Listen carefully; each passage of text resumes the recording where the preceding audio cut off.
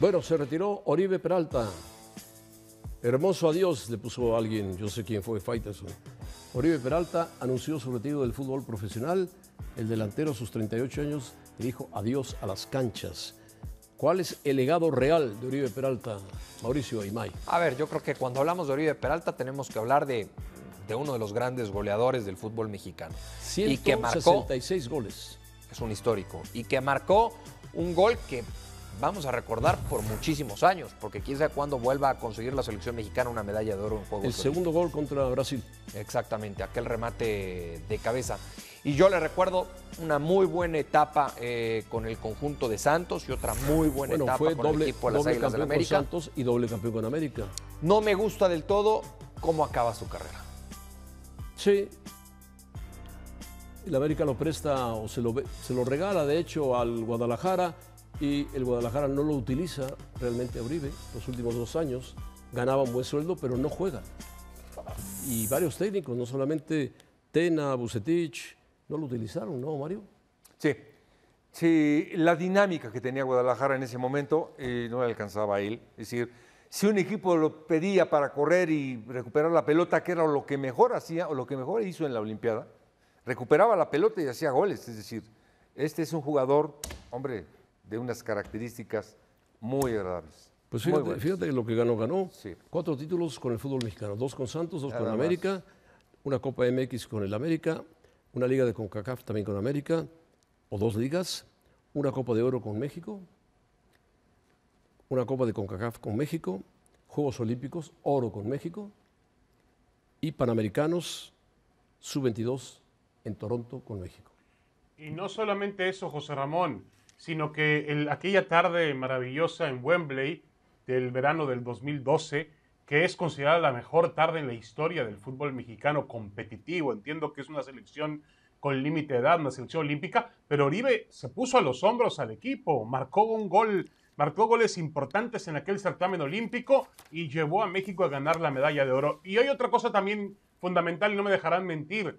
En un fútbol, porque al principio su carrera tardó en detonar, tardaron algunos años, pasó por, pasó por Morelia. Acuérdense que tuvo una primera etapa en Chivas, donde también no lo Sí, sí, utilizaron sí. mucho. Estuvo a préstamo con el Guadalajara y pasó desapercibido.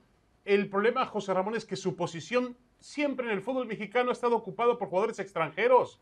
Alguna vez me lo dijo en una entrevista, es que preferían un extranjero que a mí. Al goleador era extranjero, o era argentino, o era uruguayo, o era chileno, y yo tenía que esperar hasta que finalmente detonó en el Santos y también fue puesto a prueba en un equipo Pero aún de así mayor se- abrió como paso y América, metió- y respondió muy bien. Metió 166 goles.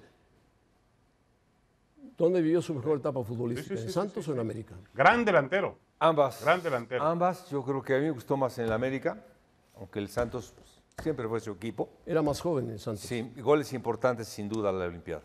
En la Olimpiada, por supuesto. Y el retiro, bueno, pues el retiro es normal. Sí, sí, sí, sí. 38 años no es tan fácil jugar fútbol. Es decir, te tienes que cuidar demasiado a esa edad. Y él no le alcanzaba, es físicamente no le alcanzaba a jugar a los 38 años. May, ¿tú dónde lo viste jugar mejor? Eh, yo, yo lo vi muy bien tanto en, tanto en Santos como en América. Yo por eso recordaba la- las mejores etapas de Oribe Peralta en el fútbol mexicano. Para mí fueron en Torreón y en la Ciudad de México. Le recuerdo ese momento con, con Ricardo Lavolpe en donde no lo usaba o no lo utilizaba como un referente de ataque nominal, sino llegaba de más atrás para tener siempre de frente el arco rival, ayudando en esa recuperación de pelota que bien decía Mario, y, y- y me parece que le fue muy, pero muy útil ese Uribe Peralta a Ricardo Lavolpe y a Miguel Herrera en, en- en su paso por el conjunto de Cuapa. Ahora, José Ramón, Bueno, eh, tú le va a haber una estatua, como hay una estatua de Mario Jared. Borghetti, ¿Perdón? hay una estatua de Sí. Jared, de Jared Borghetti en, afuera del estadio eh, Corona. Habrá otra de Oribe Peralta. Yo creo que él está Seguramente, identificado ¿ya con con colores. Nació con en un barrio. No, no, no, no, no. Yo no hablo con Irarrágorri, pero me parece que la merece y se la van a dar. Él es de un barrio que se llama La Partida, muy cerca ahí del estadio de Torreón, un barrio muy Bueno, humilde. pues vamos a ver si, la cancha de vamos piedra, a ver si se la hace la, Y, y la realidad es que hizo una maravillosa carrera con Santos. La Santos final- la final Chivas le restó mérito. A Jared Borghetti. La final en Chivas, jugar finalmente en ¿La Chivas qué, dos perdón? años, le restó mérito a Oribe Bueno. José Ramón, a ver, a ver, a mí. Bueno, obviamente ya no llegaba en el mejor de los momentos. Yo creo que él siempre ¿Sabes quién fue el encargado de su Siempre ha sido un transferencia? jugador Amigo entregado. personal tuyo. José Luis Higuera. Sí, José Luis Higuera. Bueno, pero José Luis Higuera yo estoy seguro que lo hizo, lo hizo tratando de ayudar a Chivas, no de perjudicar a Chivas. Y lo tomaba gratis porque era un jugador libre, había que pagar únicamente el sueldo. Y José Muy Luis alto el pensó sueldo, muy que alto el sueldo, podía ayudar al Guadalajara. Se equivocó, se equivocó. Bueno, Bueno, se equivocó rotundamente. Ahora, José Ramón, te quiero ver a ti. Te dicen, tengo la posibilidad de traer a Oribe Peralta para Chivas. ¿No lo llevas a Chivas? a los 36 años. lo llevas, ¿no? No. Yo, Y con ese sueldo ganaba 2 millones de dólares anuales, eh, mensuales. Faitelson, por Dios.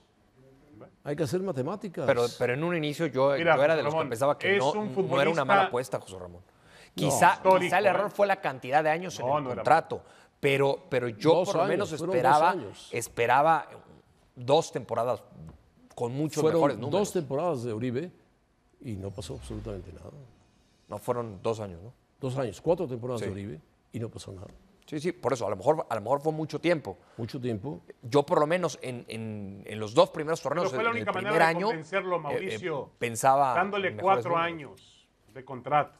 Sí, cuatro años. Sí, la única forma de convencerlo de ir a Chivas fue dándole un contrato multianual. Por eso él aceptó ir al Guadalajara. Al final no resultó, pero dime, ¿quién ha resultado en Chivas en los últimos tiempos? Nadie, ¿eh? Digo, Oribe pasó desapercibido por No, completo. Pulido- pero nadie Alan ha entregado Pulido- buenas cuentas en Alan Chivas Pulido fue campeón los de goleo, perdóname. Alan Pulido hoy, Bueno, lamentablemente, sí, sí, sí, con una rodilla Tiene razón, tiene razón. Bueno, pero- Tiene razón. rota, a Te lo concedo, José Ramón. 12 meses, 13 meses. Luego algún inteligente lo vendió. ¿Algún inteligente Bueno, lo vendió? Bueno, lo vendieron. ¿O lo dejó, lo dejó Así es el fútbol. Compra y venta. Oferta y demanda.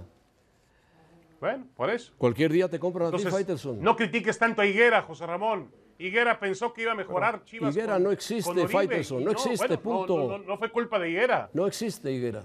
Higuera. Higuera es amigo tuyo únicamente. Es el presidente del Morelia, José Ramón. Ve- Vende aguacates.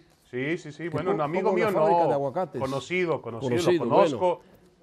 Y trabajó en la mesa Próximo con partido nosotros. Tigres y contra me parece Puebla. una persona muy inteligente. Tigres contra